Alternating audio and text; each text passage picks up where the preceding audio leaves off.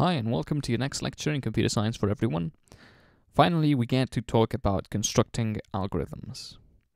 Let's see a sample problem, and let's try to create an algorithm from it. We need to create a program that will get data from a database, create a graph with it, and then email the graph and the data set to the customer. So we have to get data from a database, create a graph with it, and email the graph and the data set to the customer. Obviously, the problem was fairly simply set out so that you would see these steps quite quickly. But it is important to realize that there's these three steps to begin with. And many people wouldn't realize that. This is really important in computing.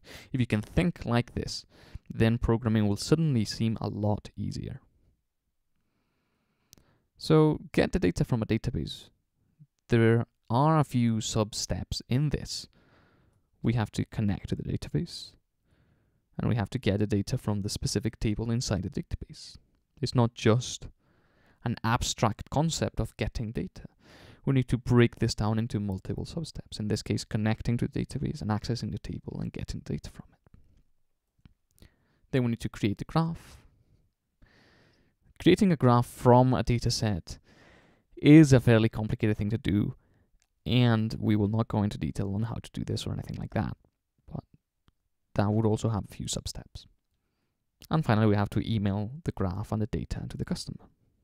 So we create the email with a data table, we attach the graph, and then we send it to the customer. So obviously there has been a, a fairly simple example of what an algorithm could look like creating the graph would also have multiple substeps, and then you'd end up with pretty much your program already set up, already planned, so that you could start programming it step by step or thinking about what steps need to be programmed first so your program could end up working. Thinking in algorithms is really important because the computer works as a giant algorithm. Everything happens because the previous things that have happened have led your computer into doing the current thing. From the moment your computer starts up, there is a series of steps, and then the computer itself and your interaction with the mouse and the keyboard will take the computer down a certain path. If you can train yourself to think algorithmically, just like the computer does, this will benefit your programming skills because you'll be able to think like the computer. You'll be able to kind of empathize if if if computers have any anything to empathize with with the computer. So thinking how does the computer do this?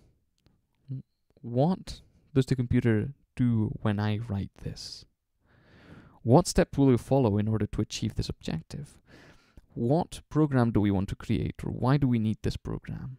Yeah, and then how does the computer do this?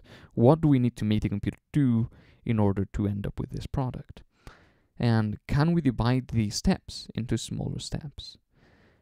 When you think, okay, we cannot divide any of the steps that our programs divided into into any smaller steps, then it's time to start programming. So, thinking in algorithms, thinking algorithmically is a vital skill for any programmer. And if you are going to program, either seriously or as a hobby, being able to think like the computer is going to let you program a lot better and a lot easier. So, let's move on to the next video where we're going to try to create an algorithm. I'll see you in the next video.